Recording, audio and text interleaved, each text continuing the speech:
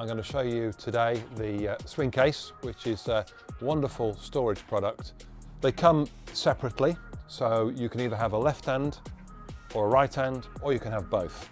They're locked in place, so you've got good storage down the middle, released by pulling the handle, and then basically it brings everything to you.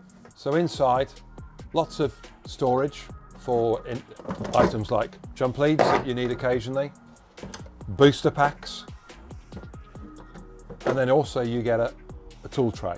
So great for those essentials that uh, you want to have with you and want to be able to get your hands on quickly when you need them.